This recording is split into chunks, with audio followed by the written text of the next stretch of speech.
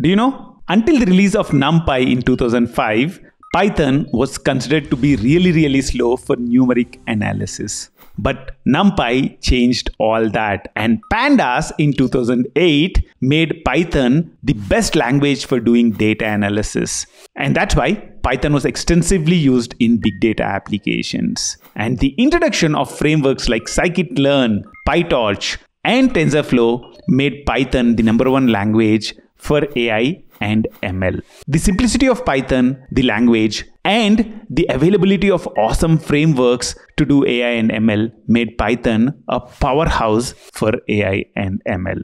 A lot of academic work, a lot of research work, and a number of enterprises make use of Python to do AI and ML today.